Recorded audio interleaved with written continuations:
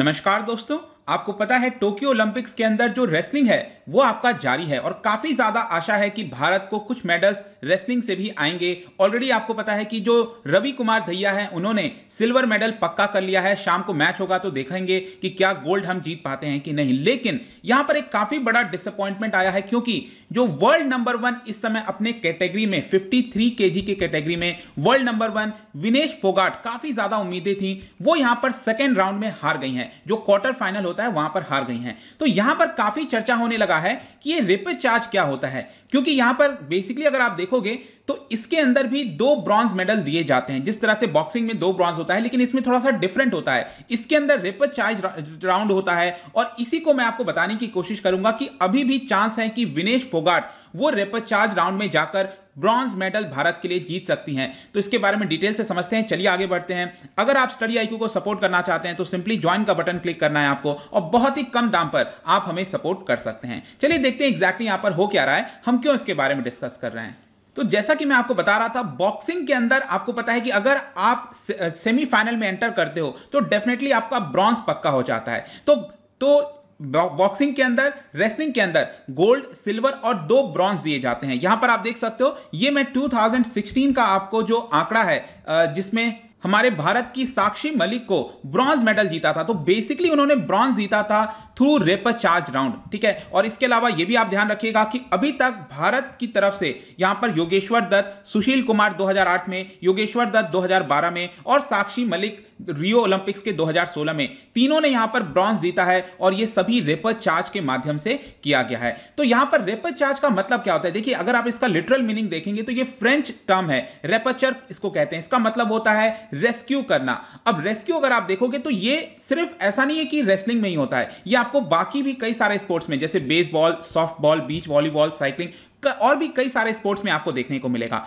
इसका बेसिक अर्थ यह होता है to give a second chance to an individual to fight for a third spot कहने का मतलब कि अगर आप अपने स्टार्टिंग में ही अपना मैच हार जाते हो और जिस ओपोनेंट से आप हारे हो और वो ओपोनेंट आपका फाइनल में चला जाता है तो आप एक प्रकार से यहाँ पर जीवित हो जाओगे रेस्क्यू हो जाओगे और आपको एक और चांस मिलेगा ताकि यहाँ पर आप ब्रॉन्ज मेडल के लिए फाइट कर सको। तो क्वेश्चन सबसे पहले आपके मन में यह आना चाहिए कि ये आखिरकार दूसरा चांस क्यों दिया जाता है? नॉर्मली हम यही देखते हैं कि एक बार आप मैच हार गए तो आप तो एलिमिनेट हो जाने चाहिए। तो बेसिकली अगर आप देखोगे रेसलिंग के अंदर टोटल 16 रेसलर होते हैं। मतलब कि सपोज़ मैं कहता हूँ, ये 53 केजी का राउंड है। जैसे विनेश फोगाट जो है, वो 53 केजी के कैटेगरी में यहाँ पर फाइट करती हैं। तो इसके अंदर अगर आप देखिए तो टोटल 16 आपको रेसलर देखने को मिलेंगे। हर हर कैटेगरी में 16 रेसलर होते हैं। और इसको दो पार्ट में डिवाइड कर दिया जाता है। एक पार्ट में आठ रेसलर होते हैं और नीचे के आप आठ देख सकते हो, ये बाकी आठ हैं। अब दोनों की तरफ़ से क्या होता है कि फाइनल में जो है इधर से एक प्लेयर फाइनल में जाएगा इस वाले कैटेगरी ये वाले नीचे हाफ़ में, और जो टॉप एट वाले हैं यहाँ पर, इसमें से एक फाइनल में जाएगा। और दोनों में आपस में यहाँ पर फाइनल होगा। लेकिन यहाँ पर अब आपको देखना है कि सपोज़ मैं कहता हूँ कि आपकी फाइट शुरुआत में ही एक ऐसे प्लेयर से हो गई जो कि बहुत ज़्यादा स्ट्रांग था। तो कहने का मतलब ये तो लकी ड्रॉ जैसा होता है ना कि यहाँ पर आपको किसके साथ फाइट करना है। तो दोनों को एटलीस्ट किसी ना किसी को एक साथ फाइट करना पड़ेगा। तो जैसा कि आप देख पा रहे हो कि यहाँ पर हो सकता है कि आप अनलकी रहो। आपको सबसे स्ट्रांग ओपोनेंट शुरुआत में ही मिल जाए और आप वहाँ से बाहर हो जाओ। और क्योंकि वो आपका ओपोनेंट बहुत ज़्यादा स्ट्रांग था और वो फाइनल में यहाँ पर पहुँच जाता है, इसलिए आपको मौका दिया जाता है कि आप ब्रॉन्ज मेडल के लिए जीत सकें। तो चलिए इसको थोड़ा सा समझने की कोशिश करते हैं कि ये पूरा वर्क कैसे करता है। मैं आपको आराम से बताता हूँ। देखिए ये तो आपको समझ में आ गया कि टोटल 16 प्लेयर्स होते हैं इसके अंदर। तो जो पहला राउंड होता है, इसको हम कहते हैं pre quarter final pre quarter basically कहा जाता है। राउंड ऑफ़ 16 भी आप इसको कह सकते हैं। वन बाई एट एलिमिनेशन भी इसको कहा जाता है, ठीक है? और इसके अंदर आप देख सकते हो, जितने 16 के 16 प्लेयर्स हैं, वो यहाँ पर फाइट करते हैं एक दूसरे के साथ। तो चलो एग्ज़ाम्पल लेकर देखते हैं। टॉप हाफ़ में अगर आप देखो, यहाँ पर ये वाला जो कैटेगरी है, इसके अंदर पहला प्लेयर और दूसरा प्लेयर दोनों के बीच में रेसलिंग होती है। और यहाँ पर क्या होता है कि जो पहला प्लेयर है, वो जीत जाता है। तो वो किधर चला जाएगा? क्वार्टर फाइनल में चला जाएगा राइट और फिर वहाँ पर फ़र्स्ट और थ्री के बीच में रेसलिंग होती है, क्योंकि ये थर्ड और फोर्थ में तीसरा जीत गया था। तो फ़र्स्ट और थर्ड के बीच में यहाँ पर फाइट होगा। और इसमें से अगेन पहला जो है, वो आपका सेमीफाइनल में चला गया।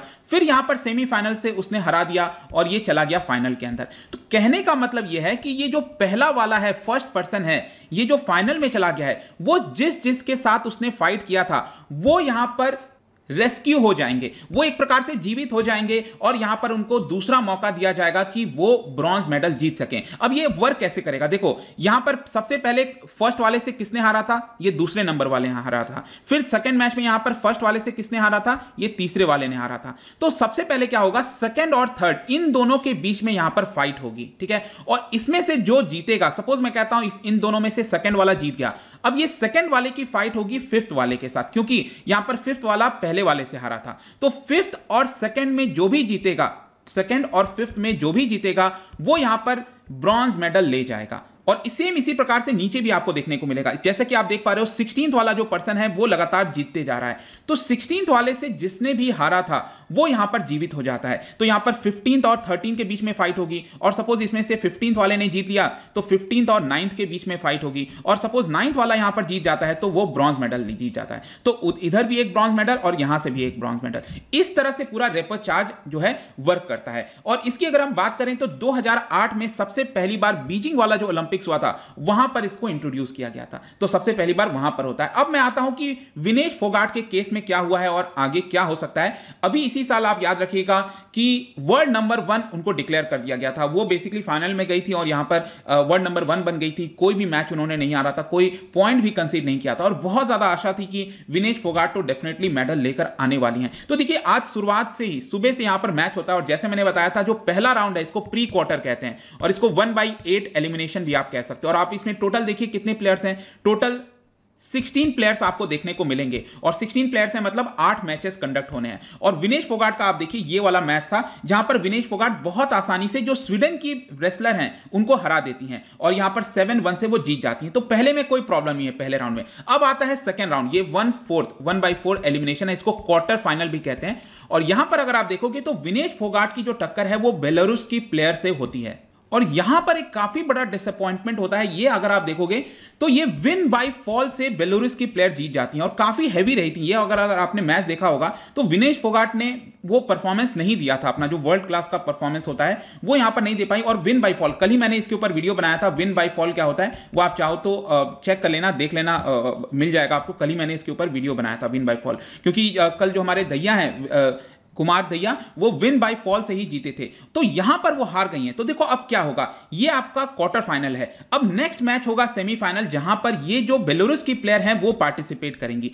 अब सपोज़ सेमीफाइनल में ये बेलोरुस की प्लेयर जीत जाती हैं और चली जाती हैं फाइनल के अंदर। तो जब वो फाइनल में जाएँगी तो ऑटोमेटिकली जो विनेश फोगाट हैं, वो एक्टिव हो जाएँगी। मतलब वो जीवित हो जाएँगी। तो सबसे पहले मैच क्या होगा? जो फोगाट हैं और यहाँ पर एक और प्लेयर हैं जो पिछले वाले राउंड में बेलोरुस के प्लेयर ने यहाँ पर एक और प्लेयर को हराया था ए बी एना तो ए बी एना और विनेश फोगाट का यहाँ पर मैच होगा और फिर विनेश फोगाट का एक और मैच होगा जो कि सेमीफाइनल में जिसने हारा था बेलारूस की प्लेयर के साथ। और यहाँ पर अगर विनेश फोगाट जीत जाती हैं, तब उनको ब्रॉन्ज मेडल मिल सकता है। तो सबसे पहले तो हमें यह देखना है कि ये जो बेलोरिस के प्लेयर हैं, वो फाइनल तक पहुँचे। वो फाइनल पहुँचने के बाद फिर विनेश फोगाट को एक चांस मिल सकता है। एंड डेफिनेटली वो जो चांस मिलेगा, बहुत हद तक हमारे पास मौका मिल जाएगा कि हम ब्रॉन्ज मेडल जीत सकें। तो ये पूरा होने वाला है दोस्तों। आई होप कि इस वीडियो के माध्यम से एटलीस्ट आपको जो रेपर चार्ज है, ये एक्जैक्टली होता क्या है रेसलिंग के अंदर? कल से कई लोग डिमांड कर रहे थे।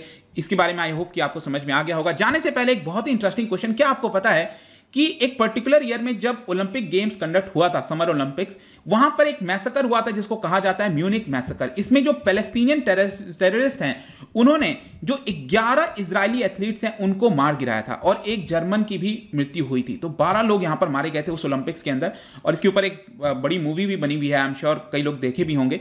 तो ये कौन से ईयर में हुआ था? ये वाला ओलंपिक्स गेम जिसको म्यूनिक मैसेकर के नाम से भी जाना जाता है। इसका जो राइट आंसर है, आपको पता ही है, मेरे इंस्टाग्राम पर तो आपको मिलेगा ही। वहाँ पर अगर आप नहीं हो, कोई बात नहीं टेलीग्राम से भी ले सकते हैं इसका सही उत्तर। मैं कई सारे एमसीक्यूज यहाँ पर डालता रहता हूँ स्टोरीज के फॉर्म में आप जाकर प्ले कर सकते हो। बाकी अगर आपको इसका पीडीएफ चाहिए तो टेलीग्राम पर आइए अलग अलग सोशल मीडिया पर भी आप उनसे जुड़ सकते हैं। जैसे मैंने बताया कि अगर आप स्टडी आई को सपोर्ट करना चाहते हैं तो simply you have to click the join button वहाँ पर आप हमें सपोर्ट कर पाएँगे, आप हमारे ऐप को भी डाउनलोड कर सकते हैं। आई होप कि वीडियो आपको पसंद आया होगा। मिलता हूँ आपसे next time till then thank you very much see you soon